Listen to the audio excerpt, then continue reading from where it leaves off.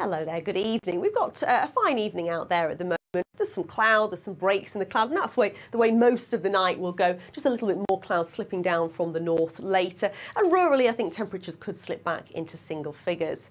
So tomorrow, I think it'll be a decent enough morning. There'll be some bright or sunny spells.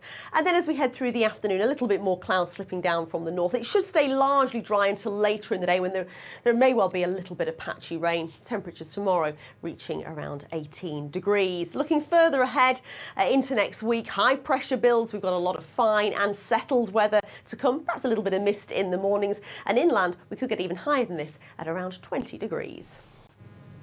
Hello there, good evening. We've got thicker clouds spreading down from the north through this evening and overnight. It's this uh, frontal system. There will still be some breaks in the east, but we could see some heavier spells of rain developing uh, across parts of Cumbria. Temperatures overnight staying up at around 12 or 13 degrees. The breeze starting to ease down a little as well. So we've got this frontal system, some breaks in the east, the heavier rain in the west, and just a little bit of rain creeping further east at times, but an improvement later in the day. Some sunshine developing and temperatures lifting to around 17 or 18 degrees.